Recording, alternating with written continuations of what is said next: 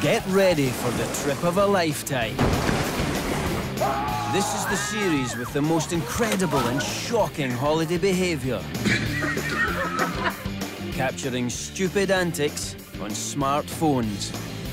With a camera in every tourist pocket, we're getting into the action like never before. Raw, real, and uncensored. This is World's Wildest Holidays. Coming up, Okay, we're about to have a drag race. Trouble at Sea.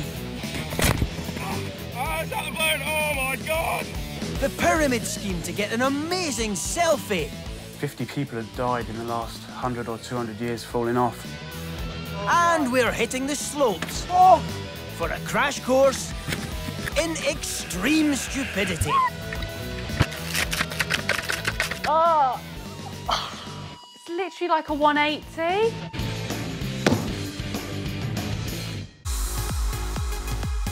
But first, we're taking off with the millions of young Brits who every summer pack their bags, sack off their jobs, and hop on a cheap flight for a couple of weeks of sun, sand, and seeing double.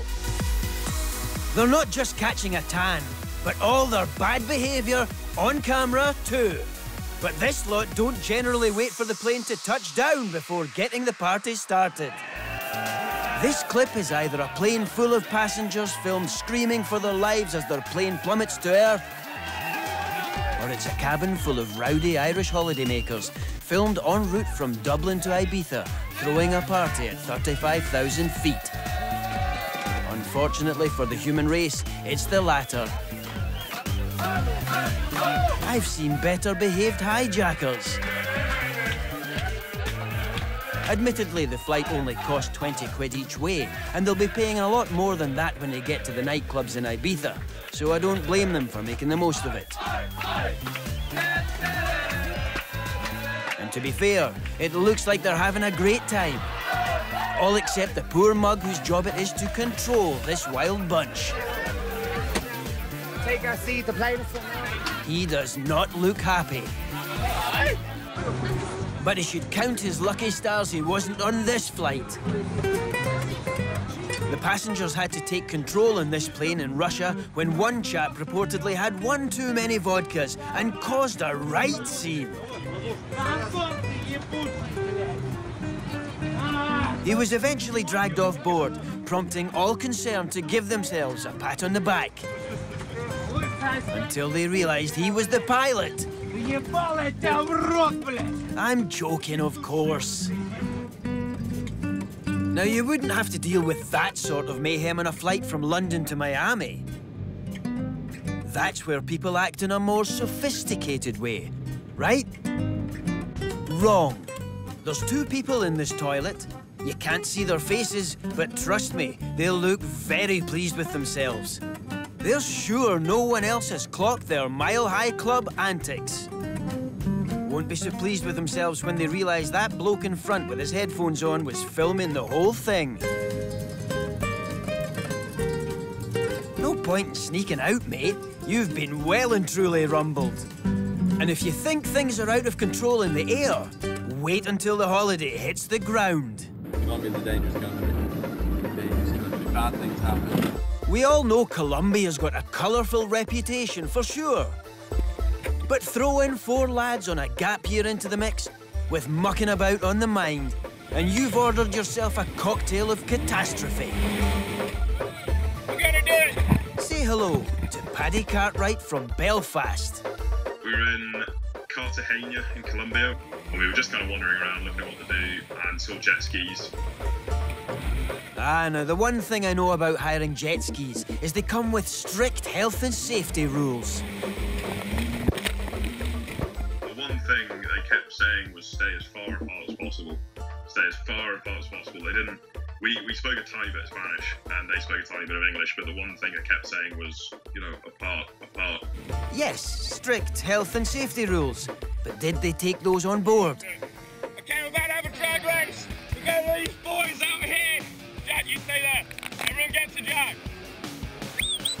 That sounds a bit dangerous. Yeah, I think it was kind of inevitable.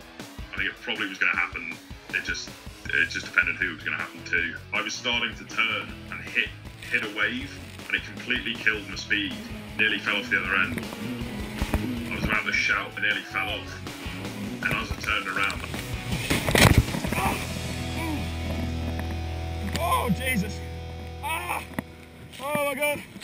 Ah. It really isn't as bad as all that, is it?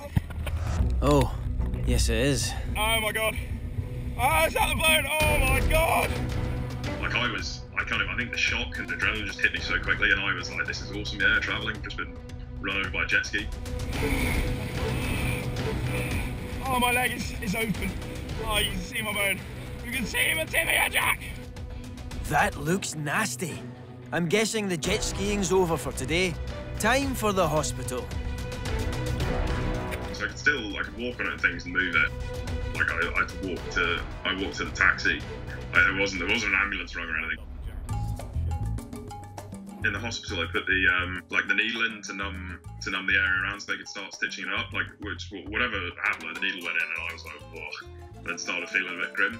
I could see there was like a big chunk had come out of my leg, and then there was just a bit of white there. So I just kind of went, oh my, that's bone. That's that's real bad. It's gone all the way. If you're wondering what's under that blur, it's a disgusting medical procedure far too harrowing to show. And the result was a scar for life in the shape of an L. L for legend. There is a victorious ending of sorts to this sorry tale, though. A couple of days after it, we had to get a, a flight to get into Bogota, I think, and um, we we managed to get me a wheelchair. So we all got, we were all the first ones on and off the plane. You know, there was a bit of a silver lining to it. Okay, you nearly lost a leg, but you did get free speedy boarding. Now that's what I call getting your priorities right.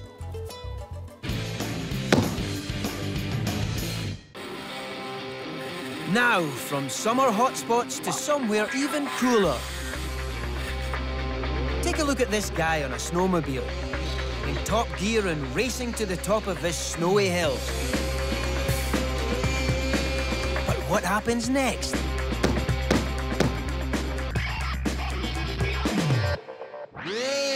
Let's find out. Well, there's no better way to test a new snowmobile than by driving it full pelt towards a blind summit. It's not just the snow that's thick at this resort. Crikey! Is that guy okay? Give us a signal. Any signal. Woo! Oh yeah, he's okay. Just another stupid guy with a smartphone.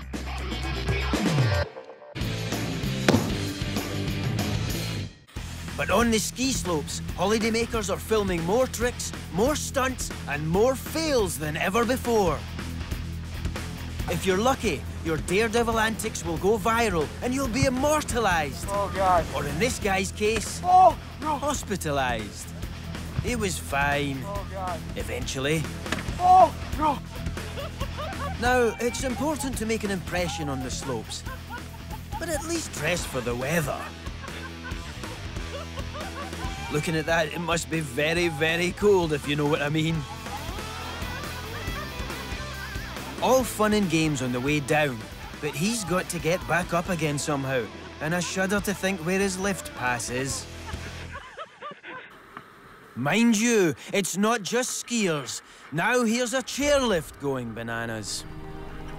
This terrifying incident in Georgia saw scared skiers left at the mercy of malfunctioning machinery. Stuck in reverse and barreling down the mountain at twice its usual speed, it's no wonder these skiers are as white as snow. It looks so dangerous. Thankfully, the skier who filmed this made sure they kept way back, instead of helping and risk being whacked by a flying human. Amazingly, there were only 11 mild injuries. But it was a truly horrific incident. Although on the plus side, the queues were a bit shorter the next morning.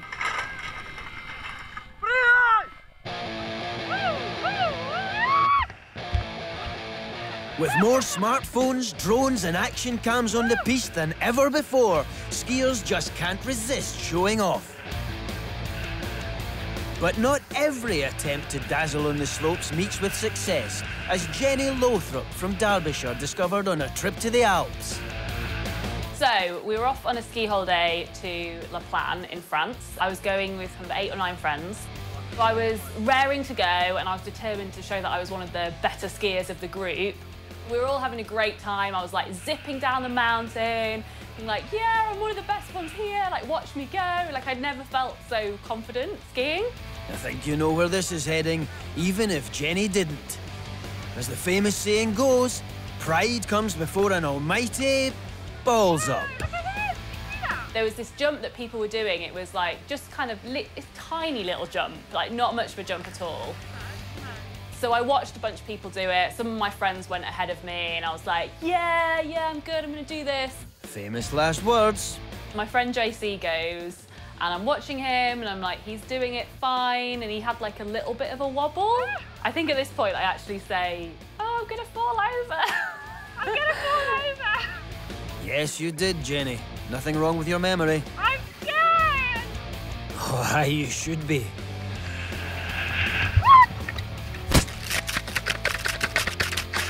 Ouch! No wonder Jenny can't bear to watch it. It's just too painful. So obviously, we showed it to her. Oh. Oh God. I just wish I could go back and not do it. Oh. Oh, brutal! She'll want to put some ice on that. Don't make me watch it again, please. Absolutely not, Jenny. Oh, what am I saying? Roll it again.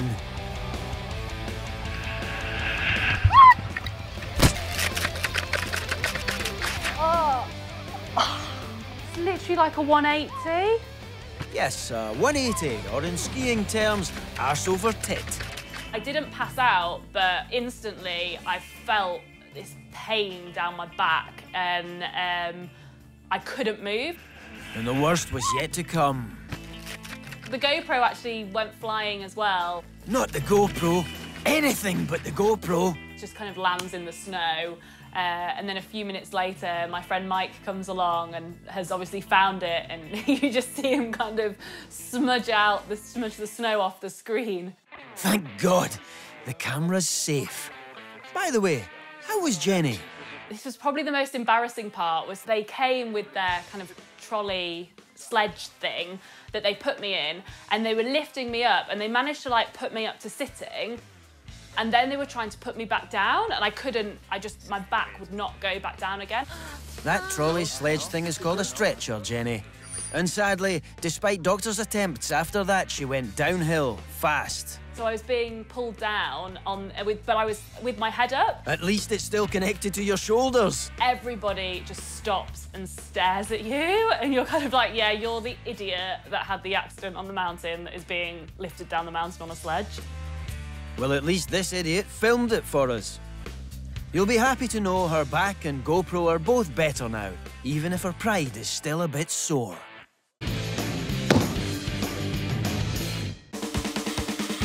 But if you think the skiers are reckless, there's one bunch that really take the piece. Snowboarders. Oh dear, he absolutely did not see that coming. They could really use warning lights this lot, couldn't they? In fact, he had right of way. There's a strict highway code on the slopes drawn up by the International Ski Federation. The snowboarder coming from behind was supposed to get out of the way. Yep, categorically that was a hit and run. A red run by the looks of it. So, if you're at the back, look out for your fellow skiers. Take it nice and slow. I said take it slow.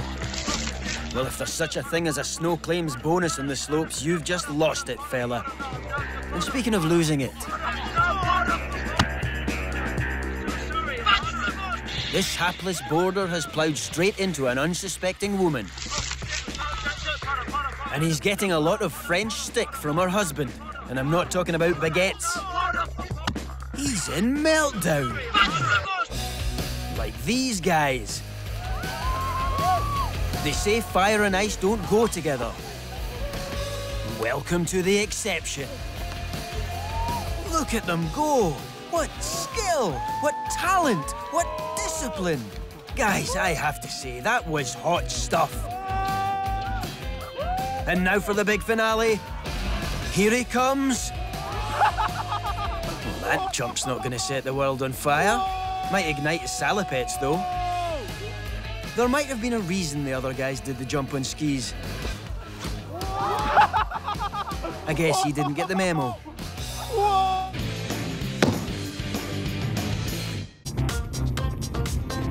Time for a spot of boating now. And let's kick off with an oldie. But it's a goodie. This was filmed on a trip across the lake in Missouri, USA. So sit back, hold tight and enjoy a nautical wipeout at its very finest.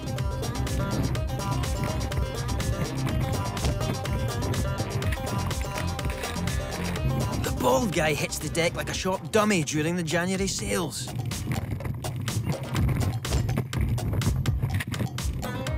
And as for that other guy's sunglasses, they flew right off his head. Must have been aviators. That really took the wind out of their sails. Is everyone okay? The bloke at the back is a bit seasick. Everyone else must be well jealous. They look like they lost their teeth. Right, head count. There were seven of them on the way out, and now there's only six. Has anyone seen the captain? There he is. Thank goodness. Otherwise, they'd have no one to sue. Thankfully, everyone on that boat was okay. But for a vacation that's a little more smooth sailing, we might recommend a boat where things move at a more leisurely pace.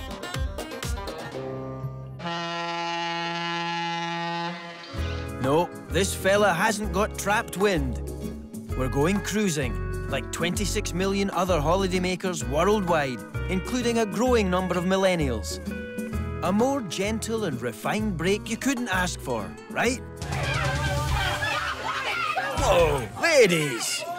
It all kicked off aboard the Anthem of the Seas when these catfighting cruisers went for each other in the cafeteria.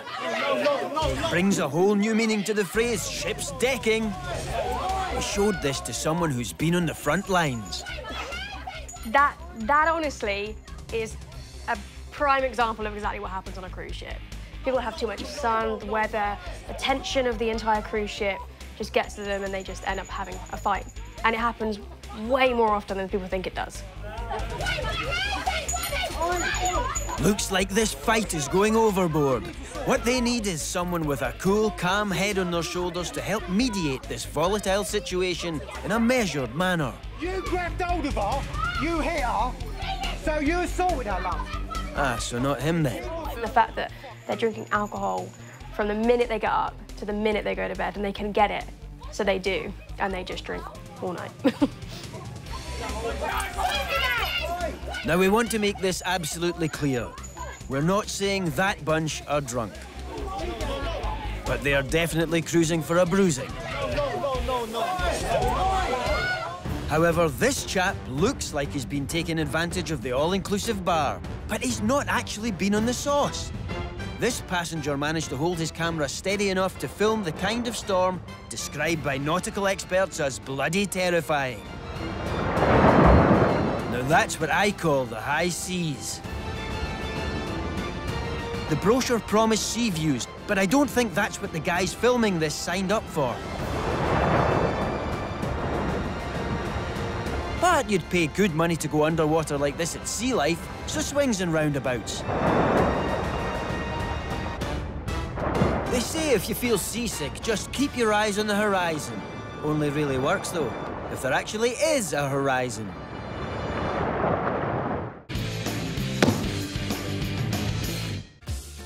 Whenever you set sail on a massive lump of ship, what you don't want is to find yourself adrift off the coast of Mexico after a fire in the engine room kills all the power. Yes, including the electricity. But guess what? That's exactly what happened to these passengers, who found themselves filming a trip aboard the Carnival Triumph that can only be described as a stinker. The engines give the electricity for the ship, which require everything requires electricity on the ship, such as the toilets. The toilets on the ship, they're all powered by electricity, same as like the airplanes. And if you don't have it, you haven't got that sound of. Well, you end up with one stinky lavvy. And this is our lovely bathroom with a sewer that's going back and forth as we rock. Is that the captain's log? Smell of urine as well as people's. I should say shit. it was wasn't pleasant at all, especially when you're walking down the corridors and you were walking in it. Walking around your flip flops and you're like, oh. That's disgusting. I mean, we're in flip flops. So, stranded 150 miles out at sea and with no flushing toilets, the passengers renamed this ship the Poop Cruise. And you wouldn't believe the crap the passengers had to put up with coming out the ship's tannoy. And very important information, folks, on the toilet system here on board. As you probably know by now, the toilets are not flushing and it's going to start causing a little bit of a problem in a short while. So we've come up with a plan. Oh, thank God! There's a plan. So, folks, what we're going to do is we're going to deliver some red bags to all of the bathrooms on board. And if you do need to do a number two, we ask that you please do deposit that into the red bags. Poo in a bag? That's the plan. Well, the good news is it doesn't actually count as part of your baggage allowance. You need to do a, you know, a number two, you need to poop, please do it in the red bag and drop it off in the bins in the corridors. Okay. How's this actually going to work? Presumably they dump them on the poop deck. It end up being everyone getting the small little bins and just sitting on the bin and pooping into that, and you're like, okay. You have to be able to balance, or you're on the floor. I know it's not the best scenario, folks, but it seems like the best option that we have right now. Not the best scenario. That's an understatement. You have some people demand you off the ship, and you're like, but there is nowhere you can go. Prop the door open to get some air. Good thinking, madam. When it came to the third day, people thinking, okay, we're never going to get home. We are stuck here. Basically, they turned the ship into one big floater. And with those little red bags piling up, the passengers aboard the Poop Cruise found themselves taking extreme measures to escape their predicament. Just like a refugee camp in the end. Everyone was outside mostly. If you couldn't find somewhere outside, you'll be sleeping under the stairwells. After five days of holding their breath and their noses, the passengers were rescued, but all would agree it was a memorable cruise for all the wrong reasons. The operators later apologised for the accident and said it certainly wasn't something they would want their guests to experience. But if you are planning a trip on a cruise ship, I'd give it five minutes. Coming up, we're getting our teeth into the animals we see on holiday. Just like these tourists on a lovely day trip in Mexico. They've got their camera phones out to film dolphins at play in their natural habitat. But what happens next? Let's have a look, shall we? Now, if there's one thing we love about going on holiday, it's getting up close and personal with the local wildlife. Makes your heart swell for these majestic but endangered animals, doesn't it? No, it doesn't. I thought they were supposed to be intelligent creatures for flip's sake. But he's fine. Till he ends up in a tuna net.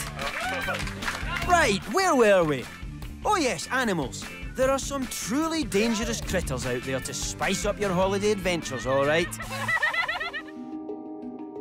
In fact, just like this highly venomous diamondback rattlesnake the guy in this clip has come up against while out hiking. I am afraid to move. I am frozen in my tracks right now. Frozen in your tracks? I'd be crapping in my pants. That snake's venom could kill you in just a few hours. All I did is sit down to take a little breather. And crawling out of the brush over to my left was this guy.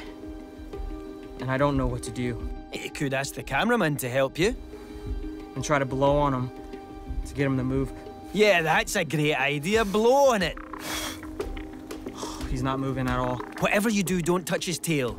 Oh, I'm gonna try to touch his tail. No, I said don't touch his tail. What, are you crazy? That's the rattly bit. Have you never seen a cowboy film?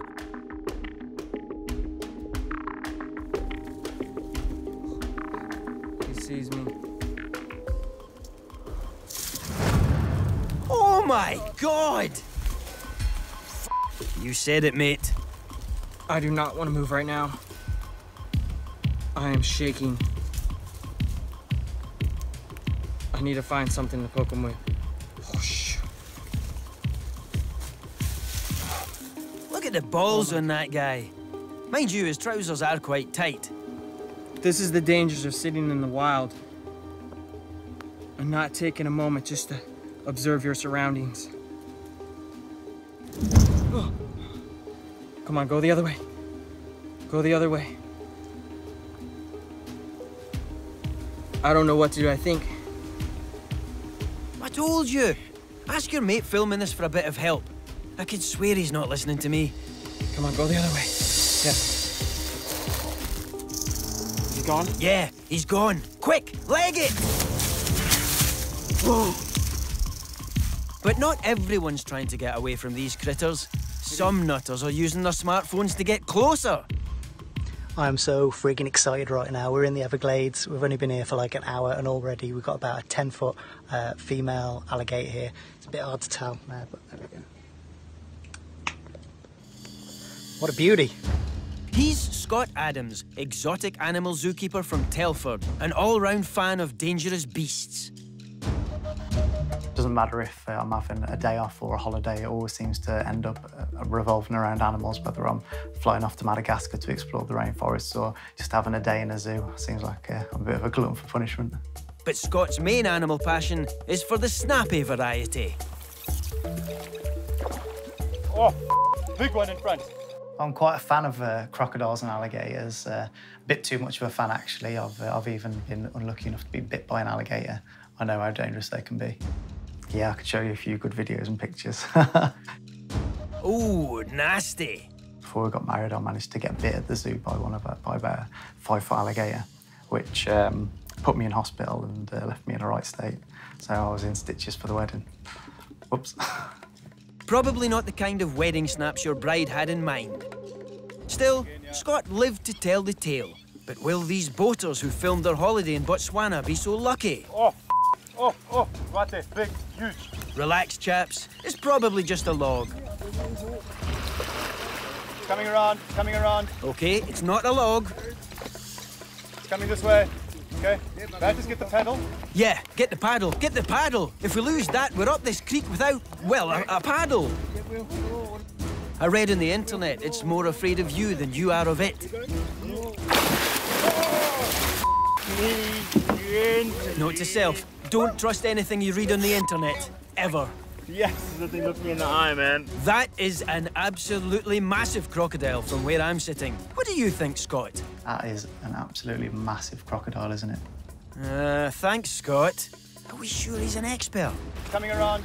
Coming at him quite fast as well, so it's looking pretty aggressive. Coming at him at this speed, it's probably not coming to eat them. Try telling these guys that. I think they probably need to uh, turn the boat around and uh, get up the river and make it snappy. What do you think, Scott? I think they probably need to uh, turn the boat around and uh, get up the river and make it snappy. Oi, Winkle, I'll do the funnies. That's better. Here's another one.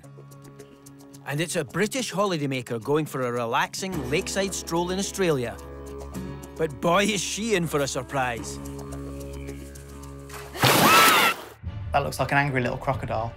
It is actually quite a small crocodile in the grand scheme of things. It's kind of a little bit of a tiddler, but that's probably about the size of the crocodile that bit me. So um, I think that uh, it's definitely uh, something that you'd want to watch out for, and definitely something if you were a, a young girl filming a fish, that's the last thing that you'd be expecting to see. So we've learned an important lesson today, haven't we, class? If you want to see some animals on holiday, the best place is in the zoo. Or even better, on television.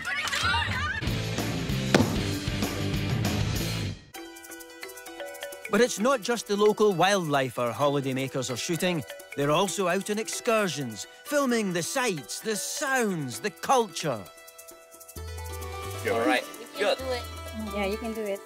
This lady has gone to visit the famous Cu Chi tunnels used in the Vietnam War. There she goes, ducking down. She ducks in with no trouble at all. Getting out again, though, oh. is more of a struggle. Easy. The tunnels are only 80 centimetres tall and 50 centimetres wide. Not being rude, madam, but those aren't your dimensions. The hips don't lie. When she burned off lunch, she was slim enough to climb out.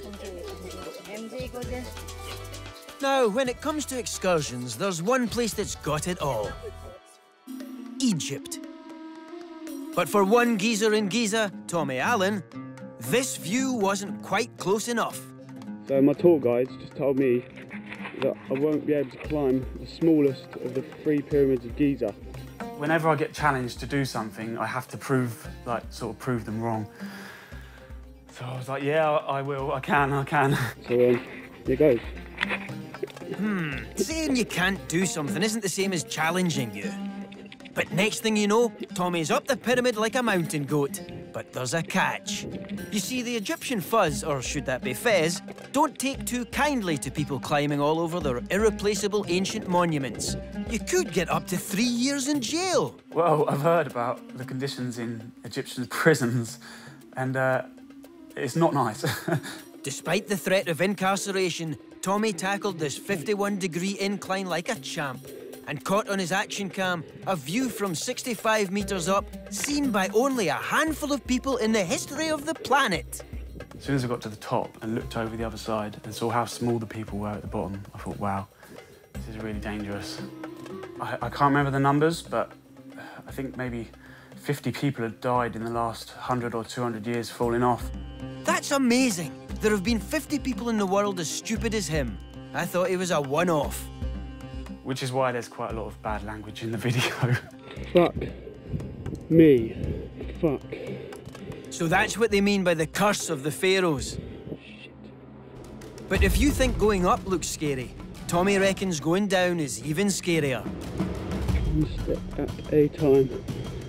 when you're going up, you're, you're facing the pyramid, but you can't do that when you go down because you have to see where you're walking. So I kind of had to like slide my bum off the edge of each stone and like get my footing right as I was on the way down. The biggest wonder of the world is that he didn't fall off. But if he thinks he's got a sore bum sliding down the stones, just wait till he gets in an Egyptian prison shower, because Egypt's finest were waiting for him at the bottom.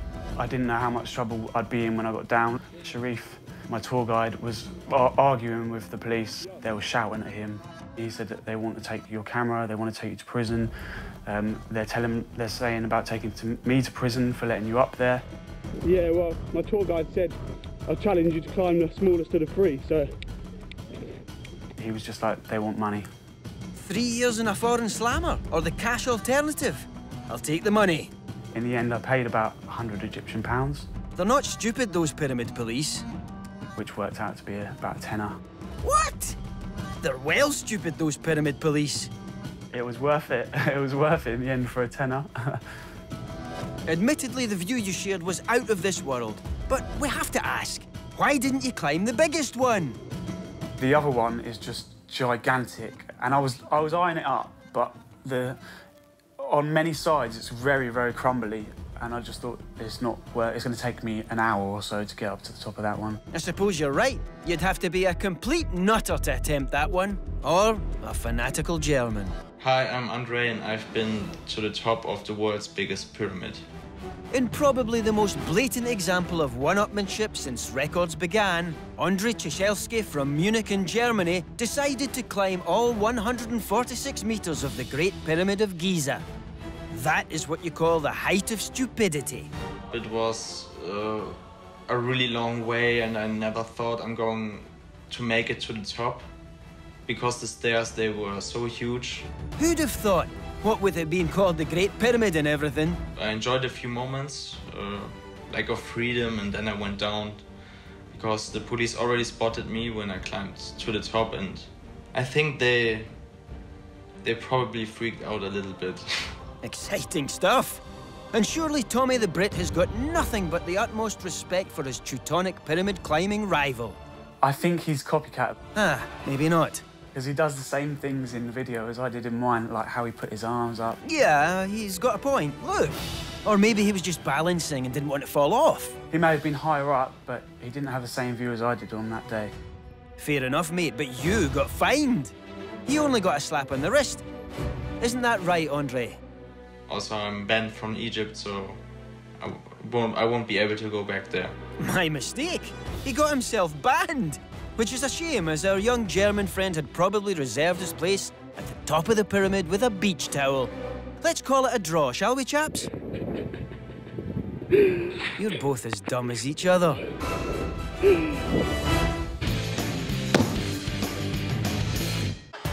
But if you want to reach dizzy heights without that kind of effort, you could do worse than take an excursion to the fun fair.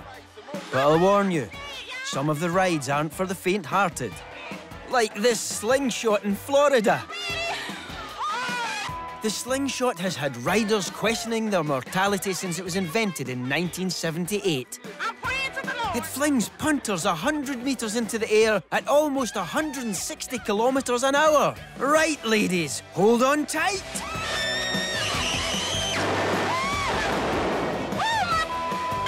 Hey, potty mouth. You might want to check on your friend. I think she's nodded off. I'm joking. She's not nodded off. What's actually going on is the gravitational forces have affected this young lady's blood flow. Meaning that her brain isn't getting quite enough oxygen to, uh, stay with us for any meaningful length of time. Here, someone give her a nudge. And she's back in the room. And she's left again. Right, I think that's enough. You've dribbled in the seat. Definitely not the worst you could have done in it, but still.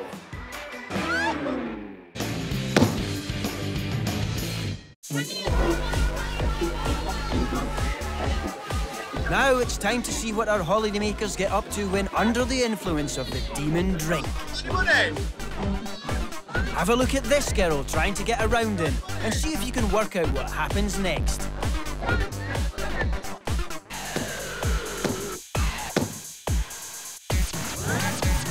Right, let's see.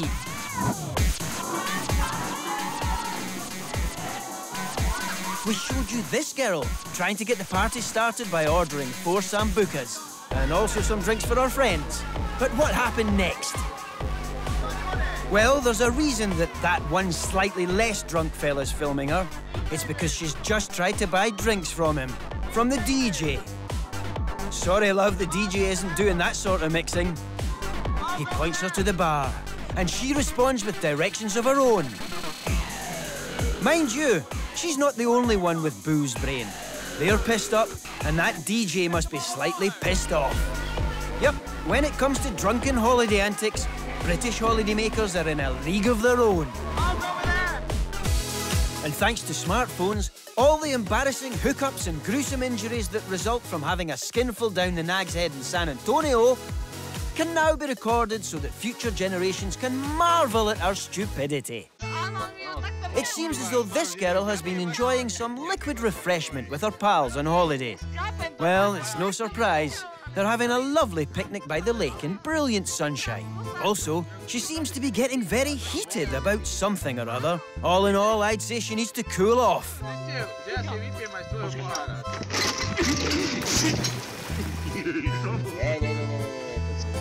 That'll do it. Let that be a lesson to us all about the dangers of drinking while on holiday. And just to make sure we've all learned that lesson, let's see it again.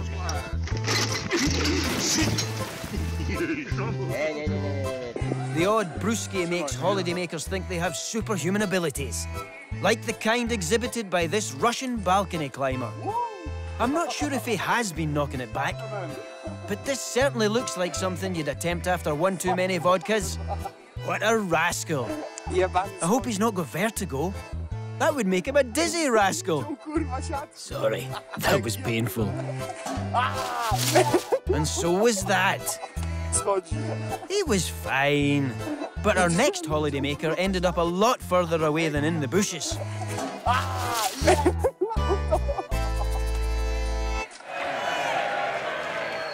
Davy McCallum, part-time wrestler, full-time Glaswegian, recently had a somewhat spontaneous holiday experience that started when he hit his favourite watering hole in the lookout for his fellow grapplers, who were nowhere to be seen.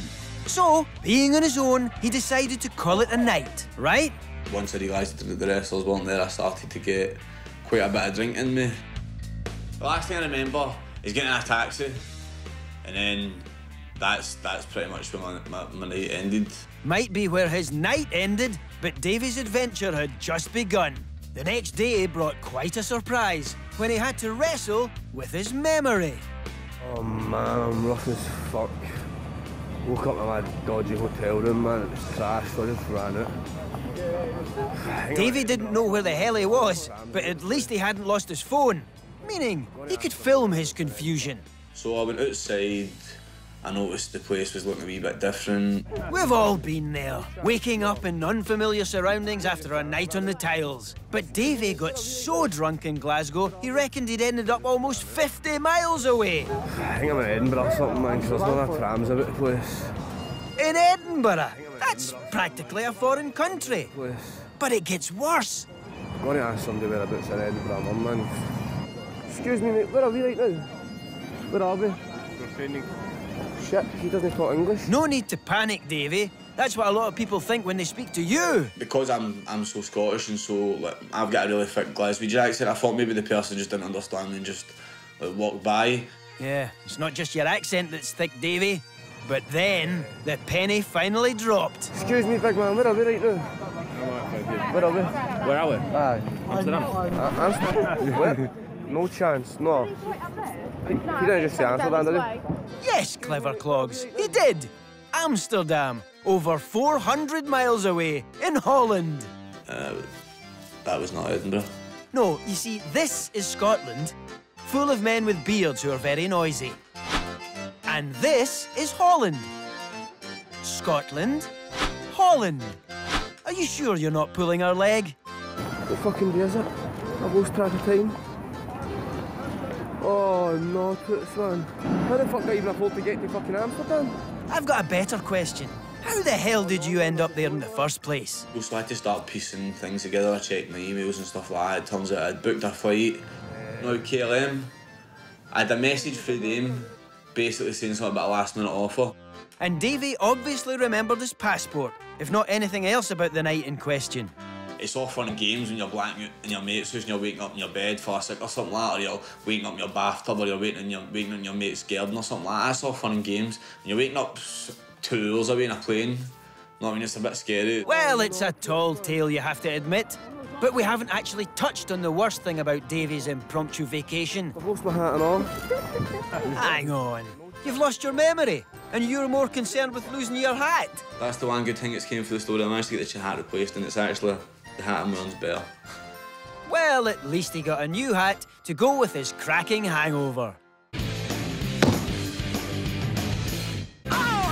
That's it for now. And please remember, whatever you get up to on holiday, make sure your phone is fully charged and your camera is at the ready. Now, go knock yourself out. Goodbye.